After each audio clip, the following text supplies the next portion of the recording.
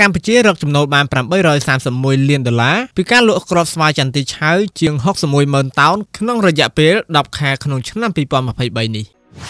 ជីធម្មជាតិ AN បង្កើតពីធម្មជាតិដើម្បីរក្សាធម្មជាតិ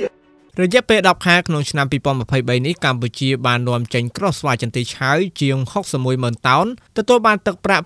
831លានដុល្លារថយចុះជិត16.7%នេះបើធៀបនឹងរយៈពេលដូចគ្នានៅឆ្នាំ2022នេះបើយោងតាមទិន្នន័យពីសមាគមស្វាយចន្ទីកម្ពុជាសមាគមស្វាយចន្ទីកម្ពុជាបានគូបញ្ជាក់ថាតម្លៃមធ្យមក្រោះស្វាយចន្ទីស្ងួតតម្លៃ1658ដុល្លារក្នុងមួយតោនសម្រាប់ខែតុលាក្រោះស្ងួតតម្លៃ7000រៀលទៅ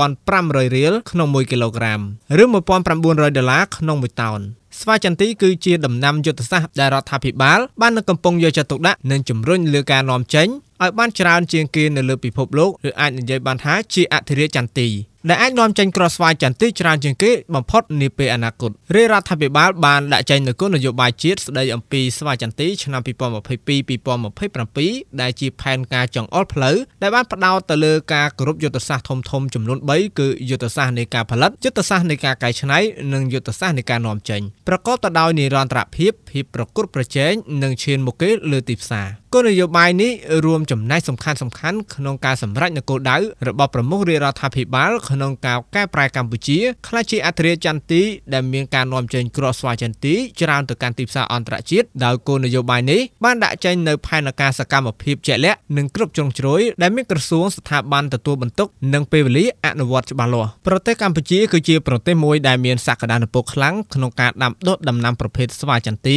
ម្យ៉ាងទៀតដំណាំស្វាយចន្ទីគឺជាដំណាំផ្ដល់អត្ថប្រយោជន៍ច្រើនដំណាំស្វាយចន្ទីងាយស្រួលក្នុងការដាំដុះដែលអាចឲ្យកសិករធ្វើការដាំដុះបានយ៉ាងល្អយោងតាមទិន្នន័យនៃសមាគមស្វាយចន្ទីកម្ពុជាបច្ចុប្បន្នផ្ទៃដីដាំដុះស្វាយចន្ទីសរុបមាន70ម៉ឺនហិកតា កាលពីឆ្នាំ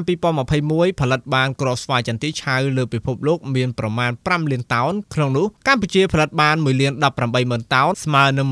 24%នៃការផលិតសរុបដែលធ្វើឲ្យកម្ពុជាជាប់ចំណាត់ថ្នាក់លេខ1ដែលផលិតគ្រាប់ស្វាយចន្ទីឆៅច្រើនជាងគេលើពិភពលោកចំណែកនៅឆ្នាំ2022កម្ពុជាផលិតបាន69ម៉ឺនតោនជាប់ចំណាត់ថ្នាក់លេខ2លើពិភពលោកបន្ទាប់ពីប្រទេសកូដឺវ៉ា PNS TV